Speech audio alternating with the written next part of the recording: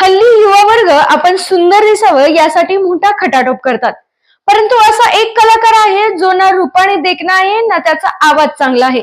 परंतु आपल्या अंगी असलेल्या कलेच्या जोरावर तो आज लाखो प्रेक्षकांचा चाहता बनलेला आहे.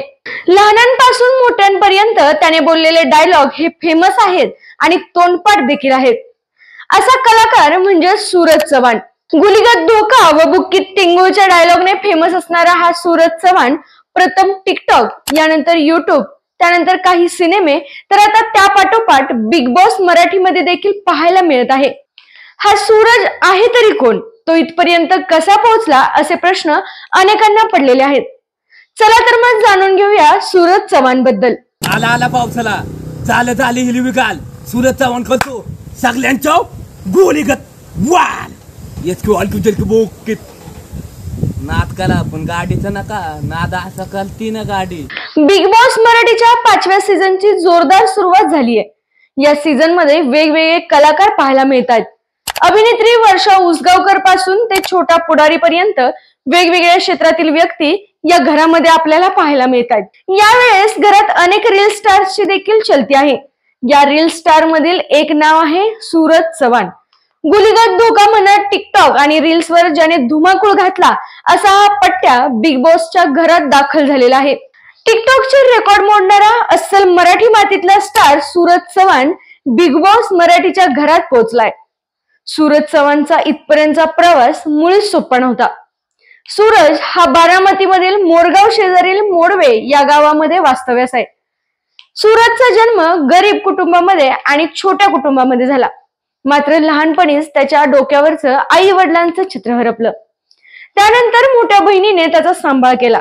त्याला लहानाचं मोठं केलं. त्याचा स्वभाव फार भोळा आणि मृदू आहे. लहानपणापासून त्याने गरिबीत हालाकीचे दिवस पाहिले.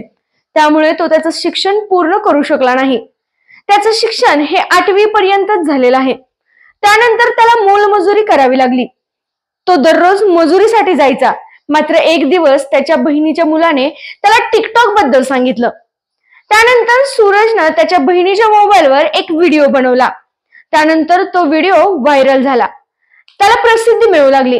त्याने मोलमजुरी करून स्वतःचा फोन घेतला व त्यानंतर स्वतःची आयडी बनवली व तो व्हिडिओ बनवू लागला. तो टिकटॉक वर इतका प्रसिद्ध झाला की लोक स्वतः त्याला भेटण्यासाठी येऊ लागले. तसेच त्याला मदत देखील करू लागले.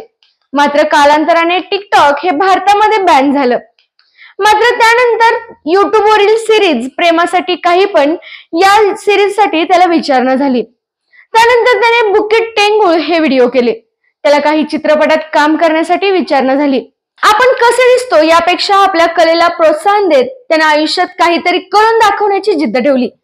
आता तो बिग बॉस मराठीमध्ये दिसतोय. सूरजला पाहताच अनेकांनी त्याला ट्रोल करायला सुरुवात केली. मात्र सूरजची ही कथा अनेकांसाठी प्रेरणादायी आहे. आपल्या तालुक्यातील जिल्ह्यातील बातम्या सर्वप्रथम पाहण्यासाठी आजच सातारा न्यूजला युट्यूब चॅनलवर सबस्क्राईब करा लाईक करा शेअर करा आणि बेल आयकॉन प्रेस करायला विसरू नका.